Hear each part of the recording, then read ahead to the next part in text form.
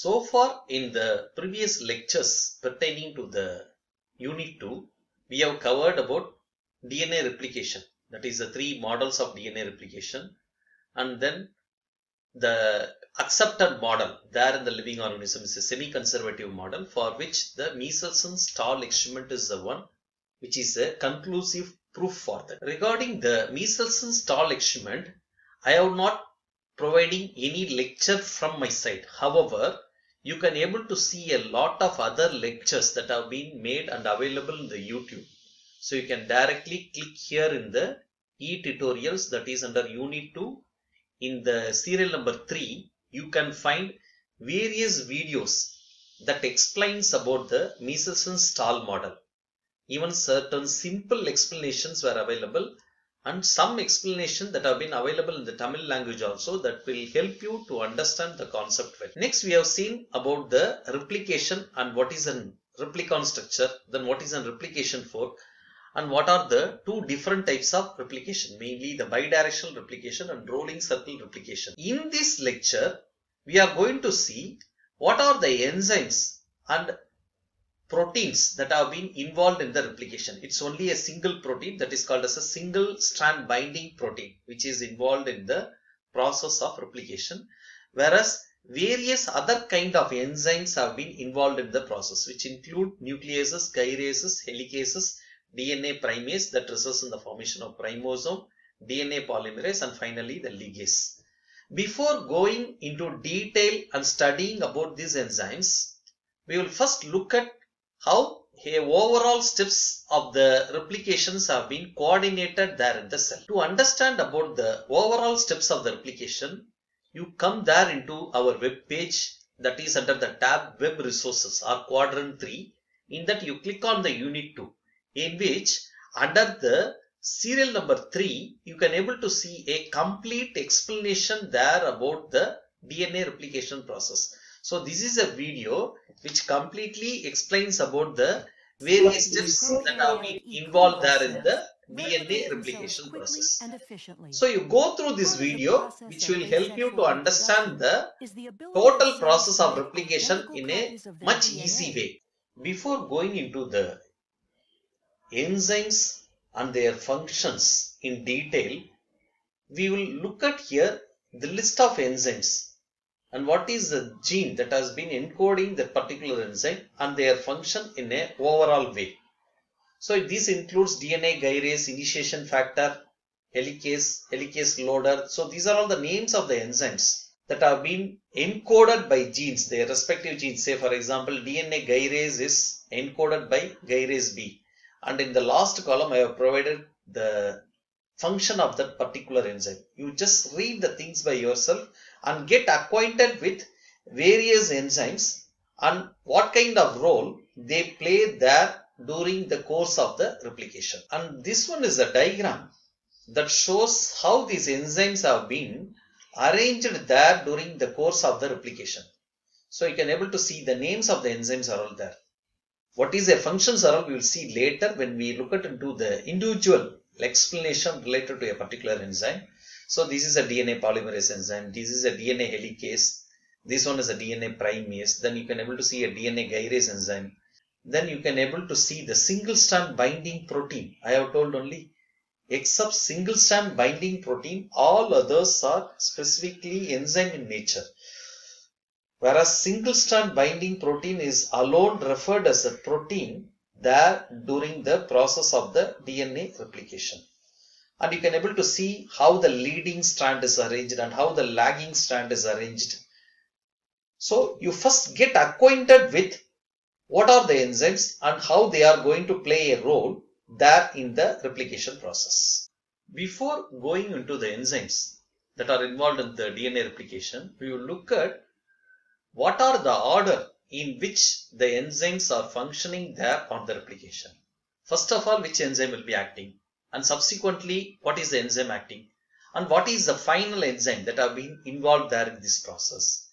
Now we look at the details of the individual enzymes that have been involved there in the process of replication. The first and foremost enzyme are nucleases. As the name implies, they will be acting on the nucleic acid.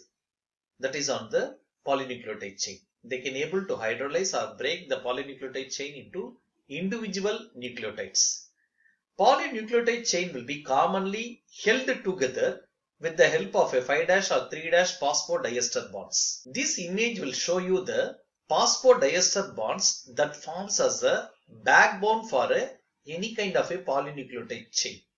So these are the places in which the phosphodiester bonds will be arranged. If you look at in this image, you can able to see how a phosphodiester bond has been present between the 5' and 3' end of a sugar.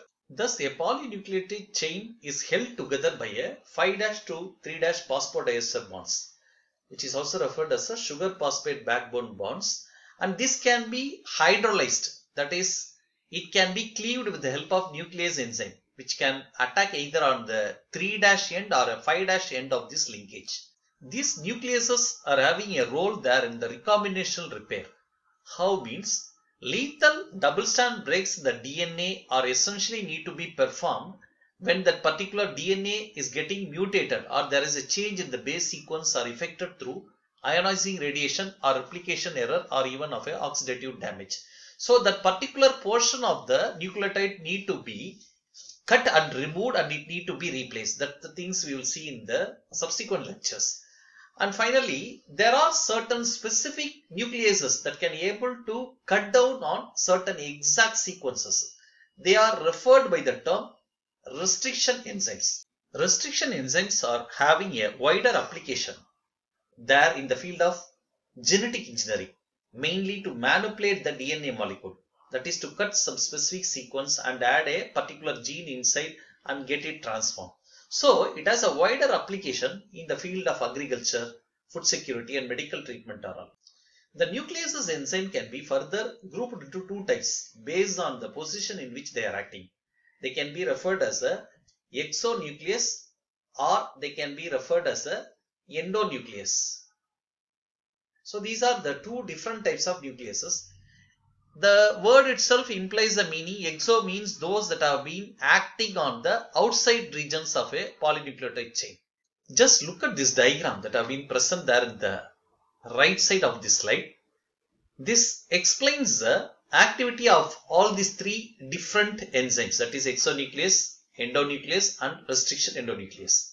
Exonuclease as I already told it will be acting in the outside or at the end of a polynucleotide chain.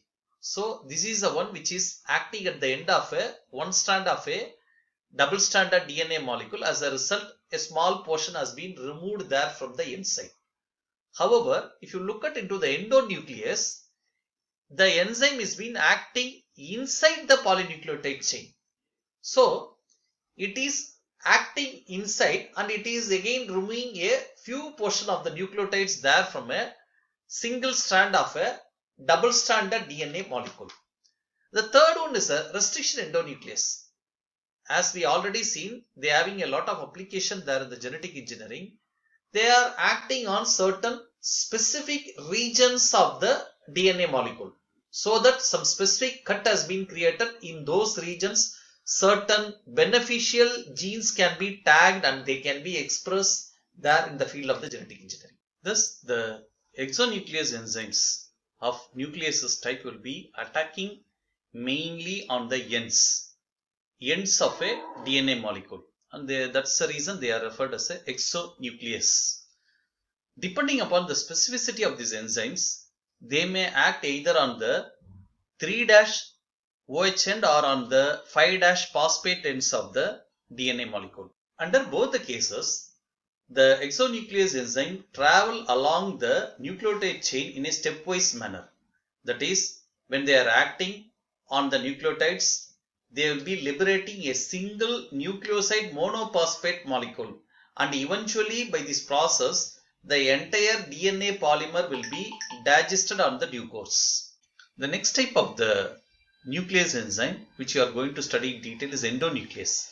It is the one which also acts on both the sides of a phosphodiester linkage of a DNA molecule but they react only with those bonds that occur interior to that of the polynucleotide chain. If you look at into the exonuclease, they will be acting in the ends. However, if you look at into endonuclease, it will be acting interior of the polynucleotide chain and they will be removing a small portion of the nucleotides there.